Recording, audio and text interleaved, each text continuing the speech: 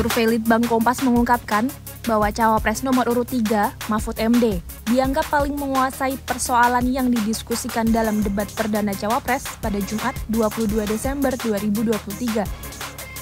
Mahfud mendapatkan penilaian mencapai 7,6, sedangkan cawapres nomor urut 1, Muhaimin Iskandar dan cawapres nomor urut 2, Gibran Raka Buming Raka, mendapatkan penilaian sama. Survei yang digelar pada Jumat 22 Desember 2023 itu memetakan pendapat publik terhadap penampilan tiga cawapres dalam debat tersebut.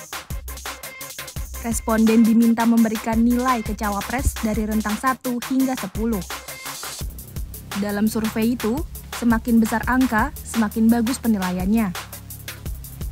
Menurut penilaian responden, Mahfudlah yang menjawab pertanyaan paling lancar dan jelas. Sementara cawapres nomor urut 1, Muhaimin Iskandar, dinilai paling baik penampilannya di atas panggung.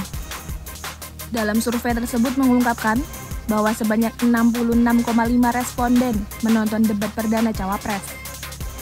Sementara 33,5 persen responden mengaku tidak menonton.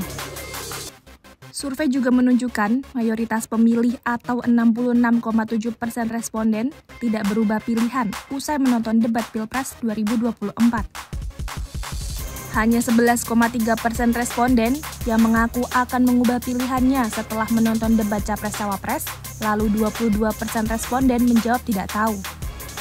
Survei digelar dengan melibatkan 212 responden dari seluruh Indonesia yang diwawancarai melalui telepon.